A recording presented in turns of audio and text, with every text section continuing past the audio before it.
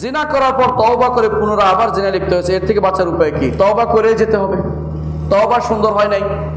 তওবা হচ্ছে মৃত্যু পর্যন্ত তওবা করতে হবে। এখন তার সবচেয়ে বড় দরকার হচ্ছে, সে এই জায়গা থেকে দূরে সরে যাবে। যেখানে তার জিনার সমস্যা, এখান থেকে দূরে সরে যেতেই হবে তাকে। যে কোনো মূল্যে হিজরত করবে। হিজরত আল্লাহ রাসুলি, সে এখন হিজরত করবে আল্লাহ তার রাসুলের দিকে। বিয়ে করবে। জরুরি ভিত্তিতে বিয়ে করবে। কালো হোক, কোনো সমস্যা নাই, কিন্তু ইমান বাঁচানোর জন্য রসুল্লাহ আসলাম বিয়ে করতে বলেছেন। রসুল বলেছেন যে আগাতুরিল বাসার ও আহসানুল ফারাজ। বিয়ে করা হে যুবকরা, এটা তোমাদের কি করতে পারে? তোমাদের চোখকে নিচু করবে, লজ্জাস্থানকে হেফাজত করবে।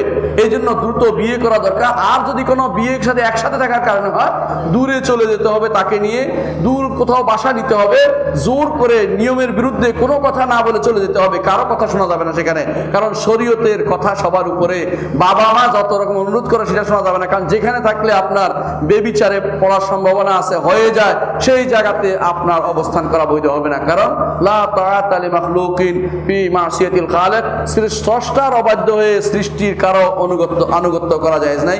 আল্লাহ আমাদেরকে বোঝাতে হইদান করে আসসালামু আলাইকুম রহমতুল্লাহ